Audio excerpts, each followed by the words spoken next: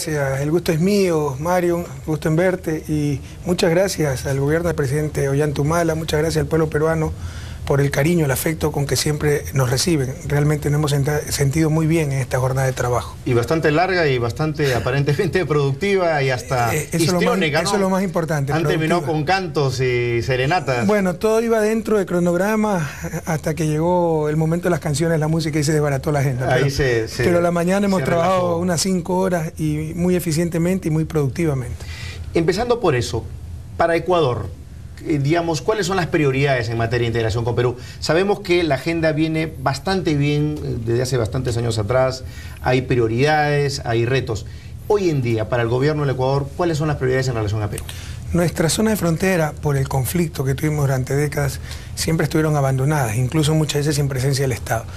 Nuestra prioridad es recuperar el tiempo perdido, sobre todo en lo social. También infraestructura, etcétera, pero social. Estamos hablando de educación, salud. Acabamos de firmar el plan quinquenal binacional de salud para cinco años, para complementarnos. Eh, donde hay un hospital ecuatoriano, servimos a los peruanos, donde hay un hospital peruano en frontera, se sirve a los ecuatorianos y así optimizamos recursos. Yo diría que para nosotros la prioridad es lo social en zona de frontera. Y usted, eh, por lo que he leído y he visto, le está dando mucha eh, fuerza al tema social en su gestión. Y entiendo además que tiene logros importantes en materia eh, educativa, en materia de eh, apoyo a los eh, sectores más vulnerables. Esto viene, imagino, a colación con el hecho de que también Ecuador está teniendo mayores recursos para poder afrontar esos retos. Un país que no tiene los suficientes recursos para afrontar los retos sociales es como si estuviera desarmado. Pero el problema de América Latina no era escasez de recursos, era sistemas perversos, excluyentes. Por primera vez en la historia de humanidad, el problema de la pobreza no es un problema de escasez de recursos y factores naturales, es de sistemas excluyentes. Hay lo suficiente. Con la producción de Ecuador actualmente mejor repartida, se eliminaría toda clase de pobreza. Ah, ah, ¿Estuvo mal repartida la, riqueza? Pero estamos en la región más inequitativa del planeta. Y cuando tú tienes desigualdad en países como Ecuador, Perú, de renta media, significa pobreza, miseria. Estados Unidos es el país desarrollado más desigual, pero tiene un nivel de ingreso mucho más alto. Esa desigualdad no se expresa en miseria, en pobreza. En nuestros países sí, así que ese debe ser uno de los objetivos. Entonces, te decía, no era el problema de que no existían recursos, era que estaban pésimamente asignados. Prioridad pagos eh, eh, de deuda legítima, gasto inútil, etcétera. Nosotros lo que hicimos fue optimizar el ahorro nacional. Banco Central nos sacaba la plata afuera. Dice que las reservas, cuando en dolarización no se requiere reservas. Eso era ahorro público, lo volvimos al país. Este, renegociamos los contratos petroleros. Antes, por el incremento de los precios, no ganaba nada el país, todo era para las petroleras, ahora es viceversa, todo ese incremento es para nosotros. Renegociamos deuda externa, pusimos un mejor sistema de compras públicas que elimina la corrupción, se ahorran decenas, centenas de millones de dólares anuales más que duplicamos la recaudación de ingresos, eso es por el lado de impuestos, eso es por el lado de los ingresos, no aumentando impuestos, sino luchando contra la evasión. Y eso nos ha permitido contar con una cantidad importante de recursos, al menos para un país como Ecuador, para, entre otras cosas, porque lo único que existe no es el sector social, el sector productivo, etc. Entre otras cosas, pagar la deuda social, o empezar a pagarla al menos. Sí, que dicho ese paso, algunos consideran que es impagable. Ahora, mi comentario iba, presidente, porque en nuestros países se vive esa disyuntiva. Crecimiento para luchar contra la pobreza, porque en realidad sin crecimiento no se puede luchar contra la pobreza. Y bajo ese punto de vista, lo que yo le quiero preguntar es, ¿qué rol tiene para el gobierno del Ecuador la inversión privada hoy en día? Pero una precisión. Eh, puede haber crecimiento empobrecedor, ya ha pasado en América Latina. Las cifras pueden ser engañosas. Tú puedes tener crecimiento porque te están sacando petróleo, minas y todo se va afuera. No genera empleo, no queda por nada ineficiencia del Estado, porque el Estado tiene recursos y no gasta la manera Pero puede haber crecimiento empobrecedor con incremento de pobreza. El crecimiento ecuatoriano es muy sano. Y otra cosa, sin crecimiento, con lo que tenemos, creciendo cero, una mejor distribución del ingreso, no solo en Ecuador, en Perú, en América Latina, eliminaría la pobreza absoluta. Entonces no es solo un problema de crecimiento, de mayor eficiencia y capacidad económica, es un problema de justicia también. Yo diría sobre todo un problema de justicia. En Ecuador, bienvenida a la inversión privada. Eh, nadie eh, nunca ha estado contra inversión privada, pero tampoco nos vamos a, sentar cruzados de brazos a que la inversión privada nos haga las hidroeléctricas que requerimos para tener energía, eh, las carreteras, etcétera. Las tuvo que hacer el Estado porque no venía esa inversión privada. Si ahora viene, como no ha venido en estos años, pero, pero hubo décadas de inestabilidad económica, inestabilidad política, donde prácticamente no hubo inversión ni pública ni privada. El país estaba en el 2006, Mario, destrozado. Entonces no nos íbamos a sentar cruzados de brazos a esperar que venga inversión extranjera para hacer obras clave. La hemos empezado a hacer nosotros y bienvenida esa inversión, extranjera y privada en general. Claro que sí, pero se dice que la inversión siempre llega cuando hay condiciones adecuadas. Y esas condiciones son estabilidad jurídica, paz social y predictibilidad de la regla de juego. La pregunta es, ¿su gobierno privilegia esas condiciones para que le llegue la inversión privada? Ahora, para nosotros la inversión privada no es la última Coca-Cola del desierto, ¿no? Hay inversión pública y sobre todo, bueno, inversión privada se requiere, la inversión extranjera no es la última Coca-Cola del desierto. Nos acostumbramos a hipotecar nuestros países en búsqueda de esa, eh, de esa entelequia que era la inversión extranjera. La inversión extranjera es altamente deseable, pero no es que es imprescindible para el desarrollo, pero estamos abiertos a la inversión extranjera. Lo que no vamos a hacer es hipotecar el país para que nos venga pero esa inversión. hoy día existen mejores reglas, mejores condiciones para la inversión privada que el 2006. Los verdaderos empresarios no vienen pues a los países que son buenos alumnos del, del Fondo Monetario eran países quebrados. Eh, nuestra gente se nos salía hasta nado en esa tragedia nacional que era la migración pero como no había inflación, como eh, las cuentas fiscales estaban equilibradas, buenos alumnos del Fondo Monetario. Y ningún empresario de verdad te va a venir, pues, porque el empresario de verdad, eh, como tú lo has manifestado, lo que buscan son reglas claras que el país lo tiene. Es paz social, que gracias a esta equidad que se está viviendo, esa justicia, el país lo tiene. Hay, eh, y sobre todo, gobiernos honestos que el país lo tiene y sobre todo proyectos rentables que al país, a un país como Ecuador y como Perú también, dicho sea de paso, le sobra. ¿Y usted cree que, eh, pensando en el futuro, eh, usted acaba de ser reelecto con una alta votación, con un gran apoyo popular? Hoy día se ha vuelto a hablar, o se está hablando, mejor dicho, de una posibilidad de una reelección indefinida, un cambio constitucional. ¿Usted apoya esa posibilidad? ¿Quién está hablando y dónde? En el Ecuador hay un debate sobre la posibilidad de que se haya la opción de una no, hay el pánico de, los sufridores de siempre, ¿no? De que si se reforma la Constitución, porque tenemos más de dos tercios en la Asamblea, podemos reformar la Constitución y poner reelección indefinida, pero nadie ha propuesto aquello, nosotros no lo hemos pensado, son los sufridores que tienen pánico, ¿no? De aquello. ¿Será este el último mandato de Rafael Correa? En principio sí.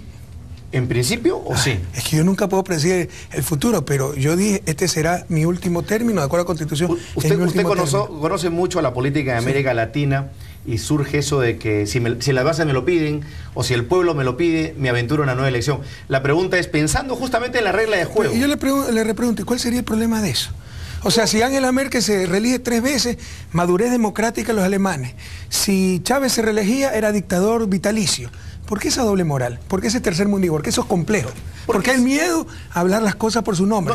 ¿Es que es democrático restringir las opciones de un pueblo? Sea un buen gobierno que lo vuelva a reelegir, ¿por qué tiene eso de malo? Porque la alternancia siempre es positiva, presidente. Es deseable, pero no es que es indispensable, no es que es lo fundamental. Y si hay un buen gobierno, ¿por qué no se le no, Totalmente de acuerdo, pero siempre dicen que. La alternancia, dígale pues a Alemania, dígale a las monarquías europeas. ¿Por qué ese tercer mundismo? ¿Por qué tenemos miedo de esas cosas? De hablarlas, enfrentarlas, de, plantear nuestro propio pensamiento. Fíjese usted, imagínese un sucesor de Rafael Correa que lo hace la mitad de bien que usted, seguramente lo van a volver a reelegir usted en la siguiente elección. ¿Por qué tenerle miedo a la alternancia entonces? ¿Quién le tiene miedo a la alternancia? Digo.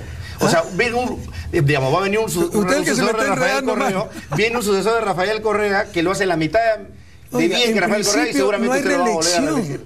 Yo no me quiero reelegir, estoy extremadamente agotado. Me molesta que nos quieran imponer cosas, además con una terrible doble moral, pues. O sea, ¿por qué entonces no se critican las reelecciones en, países europeos? Ahí sí no hay problema, ahí es estabilidad democrática, madurez política. Aquí es que somos unos ambiciosos, eso es lo que me molesta, esa doble moral. Créame que eh, yo quiero pasar por el poder y que el poder pase por mí. Lo único que quiero es servir a mi pueblo. Pero me molesta que se pongan estos debates y se tenga miedo de, plantear nuestras propias ideas y se trate con esa doble moral, ese doble estándar las cosas. En Europa no hay problema que se relija indefinidamente, pero aquí seríamos dictadores vitalicios. Lo que pasa es que en Europa quizás, presidente, el nivel de institucionalidad y de fortalecimiento democrático es diferente. Ahí viene el tercer mundismo entonces. Estamos justificando que ellos, porque... ellos, son superiores genéticamente y nosotros somos inferiores. Entonces no, no, genéticamente, instituciones. Estoy exagerando para ilustrar, pero los argumentos que me está dando se llama tercer mundismo. Superemos eso. Pero bueno, vamos a ver, esa es parte, parte del debate que hay que dar. Ahora, y hablando de la integración de América Latina, Ecuador ha apostado y sigue apostando por bloques como UNASUR y Mercosur, básicamente UNASUR, eh, por una serie de criterios que son respetables. ¿Qué opina de la Alianza del Pacífico? Eh, yo respeto mucho las decisiones que han tenido esos países. Nosotros estamos como observadores en la Alianza del Pacífico, nos involucra directamente, pero en principio no concordamos con su fundamento. ¿no? ¿Por qué, es, presidente? Porque es lo mismo de siempre. la integración, pero básicamente mercantil, hacer grandes mercados, crear consumidores, no crear naciones, no crear ciudadanos. UNASUR es una integración integral, esa es la integración que buscamos. Ecuador cree, por ejemplo, en la apertura de mercados, en un nuevo mercado para Ecuador, en abrir su mercado al ingreso de nuevos productos y servicios. Ecuador cree en el comercio. O sea, una economía moderna especializada tiene que intercambiar, tiene que haber comercio. Otra cosa es el boboaperturismo, pues sálvese quien pueda. Y peor aún un país como Ecuador, que no tiene pues moneda nacional. Si usted pudiera ver de la política comercial, no nos queda nada para equilibrar problemas externos. ¿Y usted diría que la dolarización le ha hecho más bien que mal? Que no, claro que la dolarización tiene mucho más costos que beneficios. Tiene beneficios. Controla la inflación, no, se requieren reservas, hay predictibilidad, hay más estabilidad para las inversiones micro, pero se pierde el principal instrumento de coordinación social y que eh, eso es la política económica, coordinación social, el principal instrumento de política económica en consecuencia de coordinación social que se llama moneda. Y entonces, por eso ustedes apuestan más por bloques como el de UNASUR. ¿Les parece que va más por con una lógica política de principios que con una lógica económica? A nivel de integración, ¿no? por supuesto que buscamos construir una nación de naciones, no grandes mercados. Eh, buscamos construir ciudadanos de Sudamérica, no consumidores. Pero en todo caso, nuestra política comercial, creemos en el comercio, pero el comercio es mutuo beneficio. Creer que mientras más apertura haya una economía, más se beneficia esa economía, es más cercano a la fe que a la ciencia. Eso no es cierto. Usted hace poco, por ejemplo, consideró que en el caso de Venezuela, a raíz de estos problemas de especulación que se habla, eh, de temas inflacionarios y las medidas que ha tomado Nicolás Maduro para evitar hasta penar incluso ese tipo de casos que los ha considerado hasta terrorismo económico, eh, usted ha apoyado ese tipo de medidas. ¿Por qué, presidente? No, usted que además es un economista, reputado. Yo soy buena persona, soy buena gente. Pero la, pregunta, presidente, es, economista. la pregunta es, ¿se puede ir, se pueden ir contra las reglas lógicas del mercado, como pensar que la gente oculta sus productos para no venderlos por un simple sentido político porque son de derecha y no porque hay control de precios, por ejemplo, presidente? Pero usted quiere un grave error, el creer que el mercado funciona en una ausencia, de fuerza. Por supuesto que hay que poderes en el mercado. Y ese es el problema. O sea, el socialismo del siglo XXI, el socialismo moderno no niega el mercado. Ese fue un error grave del socialismo tradicional.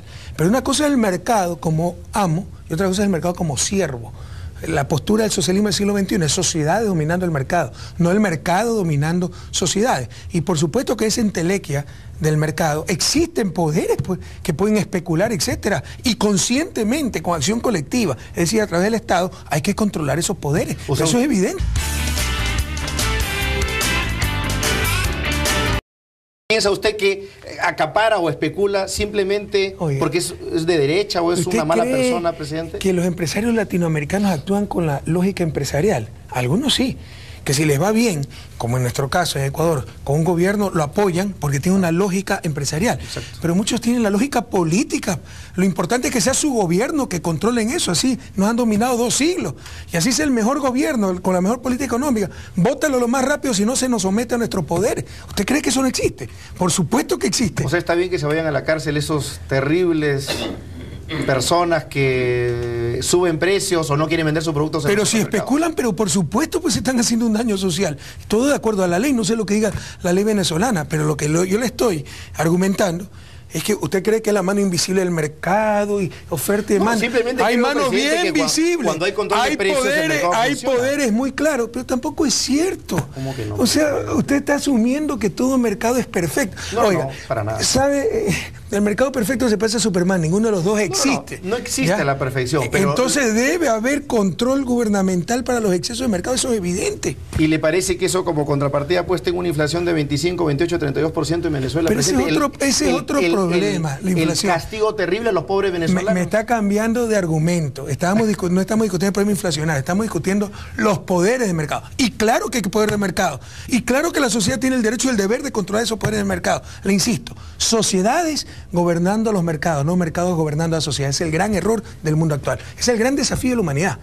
El ser humano sobre el capital, sociedades sobre los mercados. Y yo termino acá con este tema, presidente, sobre este tema en particular que es obviamente álgido tanto en Venezuela como en Argentina. ¿Usted cree que la señora Kirchner, el señor Maduro, van a ser bien recordados dejando el aparato productivo de sus países como lo están dejando, con ese nivel de inflación, que justamente aqueja a los más pobres, no a los que más tienen dinero, a los más pobres.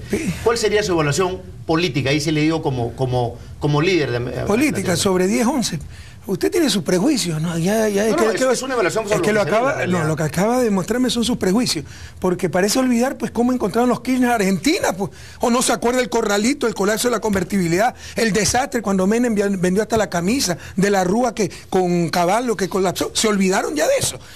Es que se han olvidado cómo durante 70 años Venezuela fue el principal productor petrolero del mundo y toda la plata de la oligarquía venezolana se la llevó a Miami. Se olvidaron de eso. Y vaya a ver pues los informes de la CEPAL. Venezuela en este momento es de los tres países más equitativos de América Latina, de los que más reduce pobreza y es el que más cree, el que más cree en la democracia. el, segundo, el segundo, se llama Ecuador. Más, más, destruida, una actividad productiva destruida, presidente. O sea, para que Venezuela se reconstruya, van a tener que pasar probablemente el mismo tiempo que ha gobernado Chávez su, país. ¿Quién se lo contó eso, Caballo? No, lo veo, lo, veo en los reportes del BID, del Fondo Monetario. ¿Usted le cree el Fondo Monetario todavía? Por favor, qué ingenuidad. Dígame cuándo Venezuela para tener un aparato productivo. ¿Cuándo ha tenido industria venezolana? no importaban todos los oligarcas porque nunca les interesó desarrollar las fuerzas productivas venezolanas. Venezuela, Venezuela, ha importado siempre todo. Ahora con Chávez se, ha intentado crear una industria venezolana. Superemos los prejuicios, veamos objetivamente las cosas. Veamos también los procesos históricos. ¿Qué era Venezuela antes de Chávez? ¿Qué era Argentina antes de los Kirchner? ¿Y le parece Prohibido olvidar Latinoamérica. ¿Y le parece Venezuela un país más libre ahora? Pero por supuesto, mandan los pobres. Pues. Lo que pasa es que los dueños de los periódicos son los que se perdió el poder. Oye, usted lee la prensa ecuatoriana. Tenemos las cárceles repletas de periodistas. Tenemos preso a todo dirigente social que, porque criminalizamos la, protesta social. Vaya, vea pues quién está preso en el país. Pero eso es lo que pone la prensa. Yo soy un dictador autoritario. No hay independencia de poderes, controlo todos los poderes. la justicia es una sucursal del Ejecutivo. Es un invento de la prensa, Pero por supuesto, pues es un poder fáctico que ya perdió su dominio y está desesperado y busca por todos los medios afectar a los gobiernos que no se someten a su poder. Pero es que, eh, aquí no hay nada nuevo. ¿O acaso, históricamente, uno de los poderes que ha dominado nuestra América no es el poder mediático? Mire, Diario El Comercio de Lima, aquí tengo la frase. Yo le voy a citar, no le voy a citar a Chávez, a Cristina Fernández, a Evo Morales, a Rafael Correa, le voy a, citar a Mario Varias Llosa. ¿Verdad? Déjeme buscarle porque aquí lo tengo. ¿Ya? Hablando sobre el del Comercio, viola a diario las más elementales nociones de la objetividad y de la ética periodísticas. Silencia y manipula la información, deforma los hechos, abre sus páginas las mentiras y calumnias que pueda dañar al adversario, que pueda dañar al adversario. A la vez que en todo el grupo de medios se despide e intimida a los periodistas independientes y se recurre a las insidias y golpes bajos de los peores pasquines que viven del amarillismo y el escándalo. ¿Y usted le va a crear una prensa así? Bueno, Vargas Llosa, para empezar, no es eh, ni el inventor ni el creador de la libertad de expresión en el universo, ¿no? Creo, como todo cualquier, como cualquier persona tiene el derecho a opinar lo que él quiera. Lo que es cierto, presidente, y se lo digo simplemente porque yo también tengo derecho a opinar lo que quiera. Claro que sí, pero lo que vemos es hay ingente cantidad de venezolanos que han dejado su país. Yo le pregunto, una ¿usted cree a una prensa? Porque esto describe a toda la prensa latinoamericana. Como el, que, han tenido con Chávez. O sea, ahora, ahora los venezolanos abandonan Venezuela lo que se va es porque ya no tiene el poder. ¿Por qué no dicen los ecuatorianos que hasta nada huían del país cuando nos quebró la banca, gobiernos corruptos, el neoliberalismo? Y ahora la gente está regresando a su país, ecuatorianos, españoles, italianos, eh, eh, huyendo de la, de la crisis europea. ¿Por qué no decimos también eso? ¿no? ¿Cómo con el socialismo del siglo XXI en Ecuador la gente está regresando? Con el neoliberalismo. Es que en pocos años nos hubieron dos millones de habitantes, la tragedia nacional más grande que ha vivido el país prohibido olvidar Perú y Latinoamérica. prohibido olvidar, cierto, pese a los intentos de cierta prensa. Lo cierto, presidente, es que usted jamás aplicaría las mismas medidas que aplicaría ni Maduro ni Cristina Fernández en su país. Por eso es que Ecuador está con un buen nivel de crecimiento. Bueno, seguro han cometido errores como yo también los he cometido. Y probablemente en economía domine mejor ese sector, porque es mi formación, y probablemente Chávez dominaba mejor las cuestiones de defensa, porque era militar, y Cristina eh, domina mucho mejor las cuestiones de derecho, porque es abogada, que aquí en su especialidad, pero todos cometemos errores, pero los aciertos, sin lugar a dudas, en Argentina, Venezuela, Bolivia, Ecuador, Nicaragua, duele a quien le duela, han sido mucho mayores que los desaciertos. Eh, presidente, otro de los temas que, eh, eh, bueno, no voy a entrar al tema de la prensa porque ya sería un debate demasiado largo, pero... ¿Para qué se engaño? que se inventó la imprenta, la dichosa libertad de prensa no es otra cosa que la voluntad del dueño de la imprenta. Y esa gente era la que nos decía por quién votar, ponía, sacaba gobierno. Pero es un derecho fundamental, presidente. ¿Qué cosa? La libertad de expresión. Pero yo no estoy negando aquí. ¿no, no, una cosa es libertad de expresión. Quiere la prensa libre. ¿Y qué es la prensa libre para usted? Los negocios que, que, convierten la información en mercancía. Los negocios como el que describe Mario Vargas Llosa. Esto no es libertad de expresión, esto es corrupción. Pero nadie llama las cosas por su nombre.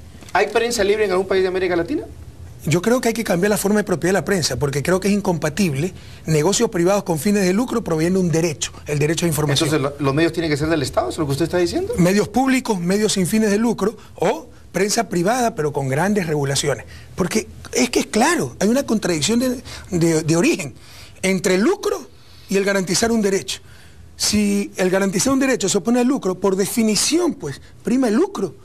Es una contradicción de origen, lo que existe en el modelo capitalista de prensa. No puede haber una empresa privada, presidente, que fielmente crea en la pluralidad, en contrastar opiniones, en poner todas las opiniones y poner a disposición de la opinión pública para que tome una decisión. O sea, para usted eso no existe, es un puro Puede haber, pero va a ser la excepción, pues no la regla. Y necesitamos que la regla sea ética y, y por eso los medios tienen que estar regulados, supervisados, controlados. Esa es la única solución. A ver, le hago una pregunta. ¿Tener medios de comunicación da poder o no? Depende. O sea, da poder, no me da con cuento. Da poder porque con eso se crea la, generación, la, opinión pública. la sociedad no solo tiene el derecho, tiene el deber pues, de controlar los poderes. poder de mercado, poder mediático, todos los poderes. Usted ha citado al comercio y le cuento que justamente a raíz de la experiencia peruana, en el Perú hace tiempo que los medios dejaron de poner presidentes. Hace mucho tiempo. En la última elección y la pasada. Yo creo que en la última elección de Jan Mala contra Keiko Fujimori. No, y la anterior también. Y ese fue el gran dolor, ¿no? Y en que ya no ponían al presidente. Y, quien leyó, usted ha leído a Mario Vargas el 90, justamente, el que tenía todo el apoyo, que era Vargas perdió con el que no te lo tenía. Usted tiene razón. Pero, presidente, lo, usted tiene razón. que voy es... Los medios de comunicación de algunos países de América Latina ya no ponen y quitan presidentes, pero siguen haciendo daño, mienten. Y la gente tiene que rebelarse contra mentiras, manipulan, desinforman, dicen lo que le conviene, callan lo que no les conviene. Eso no es libertad de prensa, eso es manipulación. En Ecuador, presidente, la mayoría de los medios de comunicación tienen esas características. Pero por supuesto, Mario, no se engañe. Si a mí me, a mí me muerde un perro, al día siguiente entrevistan al perro. O sea, no se engañe. Son poderes que como no agachamos la cabeza, nos atacan todos los días, nos tratan de desgastar, juegan un rol político y pervierten su naturaleza, que es garantizar un derecho, el derecho a la información. No se engañen. Usted se ha criticado también justamente a propósito de esta situación de una actitud confrontacional con la Corte Interamericana de Derechos Humanos por esta situación de restricción a la libertad. Uy, qué horror, y, yo no tengo libertad de expresión entonces. Pues, pues, eh, no, usted no tengo derecho a decir lo que pienso esa burocracia en Washington.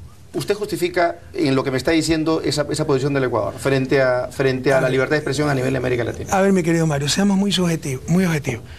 ¿Alguien honestamente puede justificar que la Comisión Interamericana de Derechos Humanos tenga sede en Washington, sea financiada por Washington y Washington no ha ratificado el Pacto de San José en el que se sustenta la comisión. Eso es criticable. ¿Alguien me puede justificar eso? Eso me parece criticable. Eso se llama neocolonialismo y Ecuador al menos ya no está dispuesto a soportar más neocolonialismo. Y, Por favor, son contradicciones demasiado graves. ¿Y estarían ustedes como país dispuestos a salirse de ese convenio? Si esto no cambia. ¿Quién puede justificar que de ocho relatorías, porque hay derechos, hay relatorías para derechos de pueblos indígenas, de niñas y adolescencia, la única relatoría con presupuesto propio de Estados Unidos, que no reconoce el Pacto de San José, que no ha ratificado, y eh, eh, financiamiento propio y reporte propio, es la relatoría de libertad de expresión. ¿Usted qué cree? ¿Que es supremacía de ese derecho sobre otro derecho? ¿O todo el capital, todo el poder económico y poder mediático detrás de las empresas dedicadas a la comunicación? No nos engañemos latinoamericanos. Bolívar decía, no nos dominarán por la fuerza, sino por la ignorancia. A ver, claro. ¿Y de qué depende esa decisión, presidente, de un retiro o no? Si no hay cambio, nosotros hemos dicho, por lo menos, por elemental decencia, la comisión no puede tener la sede de un país que no ha ratificado el Pacto de San José, pues. Pero por elemental decencia, si ni eso se logra, nos vamos. No nos podemos prestar esas cosas. Ahora, volviendo al tema de Ecuador, presidente, he estado yo revisando este debate en torno a, no debate, sino, digamos, un intercambio de ideas que hay en la actualidad respecto a una suerte de viraje de la gestión de Rafael Correa frente a su pasada gestión en la que era un tanto, um, digamos, no opositor, pero sí condicionador de la inversión privada en el sector petrolero y ahora que está siendo mucho más convocante al capital, sobre todo en industrias extractivas. La pregunta, ¿había un viraje ahí en, a nivel de gestión gubernamental? Mario, eso no es cierto. Siempre estuvimos abiertos a inversión privada. Conozco, este es mi campo de, expertise, conozco esto. Entonces no voy a ser tan ingenuo a cerrarme a la inversión privada. Pero ¿qué pasa? En las condiciones anteriores, hubiera sido un saqueo para el país. Por ejemplo, los contratos petroleros. De cada 100 barriles se nos daban 80 por la petrolera. Ahora es exactamente lo inverso, pero nos demoró tres años negociar esos contratos petroleros. Tres años nos decayó la inversión petrolera privada. No nos vinieron nuevas petroleras, pero qué pena. Yo tampoco iba a regalarles el país a las petroleras. Ahora que tenemos los nuevos contratos petroleros, bienvenidos con las nuevas reglas de juego, beneficiosas para la empresa, pero sobre todo para el dueño de recursos, que es el país. Entonces, lo que sí es cierto es que el país, es que el país pasó una etapa de transición porque había que cambiar las reglas de juego neoliberales, pues, que destruyeron a nuestros países, que saquearon a nuestros países. Entonces, tuvimos una nueva constitución en el 2008, renegociamos los contratos petroleros, tenemos un nuevo código de la producción y mientras tanto pues había cierta incertidumbre, no nos vino mucha inversión extranjera, ahora nos está viniendo mucha y por supuesto, o sea, no nos venía en el campo petrolero inversión hasta que no renegociamos contratos petroleros, pero tampoco nos interesaba, porque con esos contratos petroleros era mejor que no vinieran. ¿Y en qué otro los anteriores. Claro, ¿y en qué otro rubro, presidente, usted va a estar en una situación de mayor proactividad para captar inversión privada. En todos los rubros. No solamente en el sector minero, ¿en qué otras actividades que usted considera que puede ofrecer? Por ejemplo, ya rescatamos la, red vial básica. Ahora vamos a una nueva etapa, cuantitativa y cualitativa, que son las superautopistas. Bienvenida a la inversión privada. Presidente, usted sabe que entre Perú y Chile hay este conflicto en La Haya, es un proceso que se debe dirimir en los siguientes meses. Se ha calificado que la actitud de Ecuador respecto a este este proceso litigioso ha sido bastante prudente. Por supuesto, para el Perú ha sido una extraordinaria noticia eso. Eh, ¿Qué espera usted de este proceso? Porque en, más, de una oportunidad se ha, sospechado o opinado que, por supuesto, Chile ha tratado en cierta manera de interferir o lograr el apoyo, el soporte de Ecuador. ¿Cómo evalúa el proceso en la actualidad? Es una buena noticia para América Latina que estos conflictos, estos diferendos se resuelvan en el sistema judicial internacional. Antes no hubiera llevado a conflictos bélicos. Es una buena noticia y ojalá que los dos países acepten el fallo que dé la Corte de la Haya. Así que nosotros apoyamos totalmente esta, esta búsqueda de soluciones pacíficas utilizando el sistema jurídico internacional de las controversias entre países. Presidente, pasando a otros temas más universales, usted es una persona católica, practicante.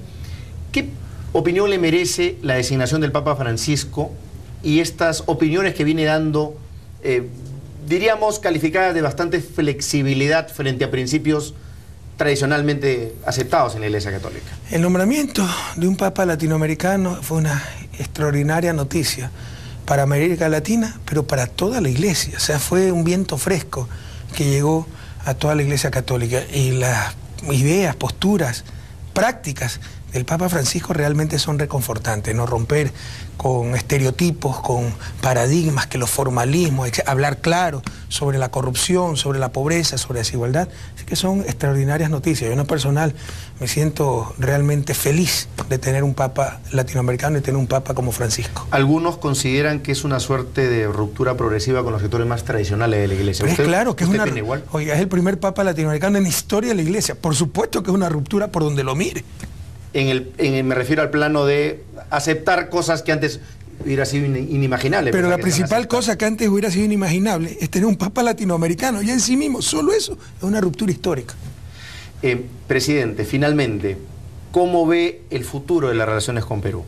Usted me acaba de contar hace un momento que esta, este encuentro ha sido muy provechoso, eh, pero pensando en el futuro, sobre todo el gobierno de Iván Tumala. Eh, ¿Qué les cautiva de lo que, lo que le viene al gobierno del Perú en los siguientes meses y años?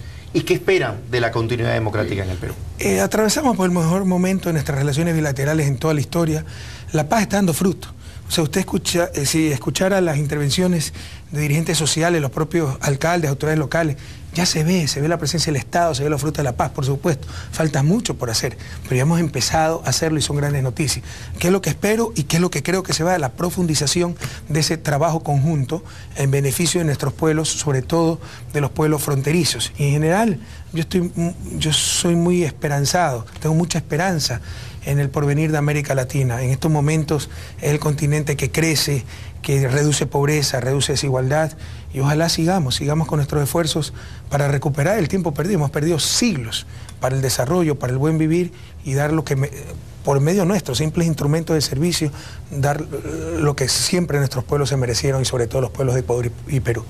Presidente Correa, siempre un gusto conversar con usted, con una persona tan polémica como usted, tan buen eh, polemista como usted. Pero bueno, cuando se tiene una visión integral se va a hacer polémico. Cuando se tiene estereotipos y prejuicios de que está mal Venezuela, que todo el mundo huye, no hay mucho lugar pues a dudas. No, hay que dudar, hay que dudar. Pensamos radicalmente distinto, ¿Ah? pero es un gusto eh, tener esa confrontación democrática. Y mire que yo no respeto la libertad de expresión. gracias, presidente. Gracias a Mario. Un abrazo a todo Perú. Muchas gracias.